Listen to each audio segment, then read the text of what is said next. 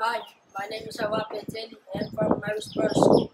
My point is stop killing fish and stop throwing rubbish in the sea. In next year, we're not going to have any fish anymore. Thank you.